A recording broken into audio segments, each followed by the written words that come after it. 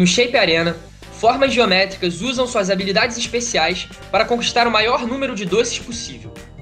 O jogo fez sucesso na China e nos Estados Unidos e surpreendeu os criadores. I want to be blue. I'm yellow. Blue. Oh, X is your ability. Como vocês receberam o review da família americana? Bom, foi uma grande surpresa, já que a gente não estava esperando. Né? Nós colocamos o, o jogo no ar, no intuito mesmo de divulgação do jogo, né? Como todos os trabalhos que nós temos feito, nós temos colocado na Steam até para ser um laboratório, né? Da, da, experimentação do próprio jogo. E começou a pipocar alguns reviews que foram bem interessantes. E esse da família americana foi sensacional, porque além de espontâneo e falar bem do jogo, é interessante você ver perfis de pessoas diferentes ali na família, pai, a mãe, a filha mais nova, explorando, né, sem informação nenhuma. E, e ao mesmo tempo explicando, né, dando aquele feedback, olha, eu explorei isso aqui, isso aqui é legal, olha que legal, eu gostei desse, desse recurso, né, agora eu vou jogar com, com outra forma. Então, realmente foi muito bacana para gente e a gente está aproveitando para otimizar esse review como né, mais um é, mais informação, né, mais um review positivo para a gente. E também recebeu críticas que ajudaram na evolução do game, como a de um jogador russo. Esse review do russo é uma história engraçada, na verdade, porque a gente já sabia quem o cara era, porque ele fez um vídeo no YouTube sobre o jogo. E no vídeo ele joga o jogo e ele comenta, né? Eu acho que no próprio review ele fala sobre o, o vídeo, se não me engano. E a gente ficou bem frustrado vendo o vídeo, porque o Shape Arena é um jogo para se jogar com amigos, né? E, e o cara tava jogando o jogo sozinho.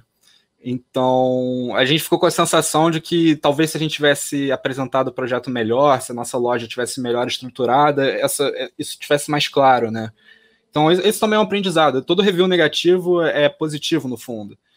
Criado no início do ano passado, o jogo está disponível gratuitamente na Steam, a maior loja de jogos online do mundo, e já teve mais de 3 mil acessos.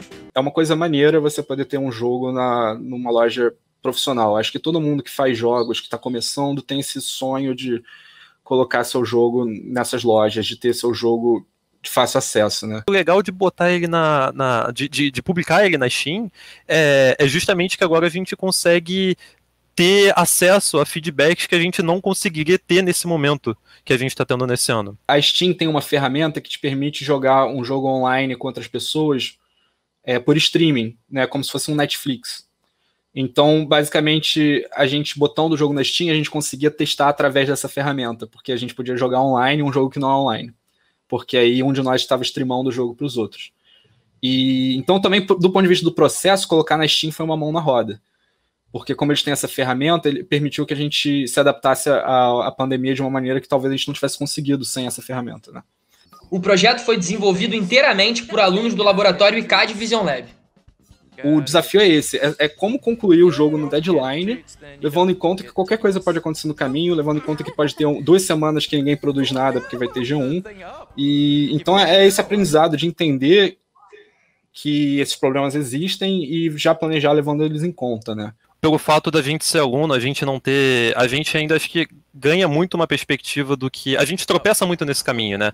Porque a gente ainda não sabe muito o que, que dá certo, o que, que dá errado. A gente está nesse processo total de aprendizado e, e somando a principal esse. É, somando esse principal desafio que o João mencionou, que é o fato de que a gente tem que conciliar a faculdade, a gente tem que conciliar estudo com o desenvolvimento no ICAD e, enfim, é, ainda tem todo, toda essa questão de, de uma inexperiência, né? O Shape Arena teve a supervisão do professor Bafa, que coordena projetos de desenvolvimento de jogos eletrônicos no ICAD Vision Lab.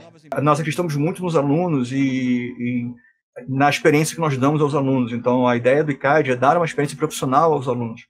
E não seria completo se nós também não conseguíssemos divulgar essa experiência. Então, nós investimos muito na importância de, dos alunos terem seu portfólio reconhecido, de todo o trabalho que é feito no ICAD seja divulgado, acreditado aos alunos, então todo, todo mundo que participa está lá, está os nomes, eles podem mostrar uma experiência profissional, e nós acreditamos que isso vai incentivar muito é, contratações futuras, no, quando eles entrarem no mercado de trabalho, eles poderiam falar: ah, nós tivemos uma experiência semi-profissional, ou um jogo que tem um bom resultado, tá lá na Steam, que é uma forma profissional. O Shape Arena foi apresentado na Conferência Internacional de Jogos SB Games. A gente escreveu o Shape Arena né, na SB Games duas vezes. Uma foi em 2019, na conferência do ano passado, e a outra foi esse ano, né?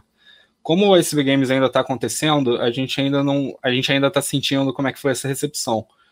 Mas falando sobre o ano passado, a gente organizou um torneio, né? E, e o torneio foi um sucesso, várias pessoas participaram, é, foi muito animado, todo mundo se divertiu e também foi muito útil para a gente entender quais eram as questões que a gente tinha que polir no jogo para o lançamento que a gente fez esse ano.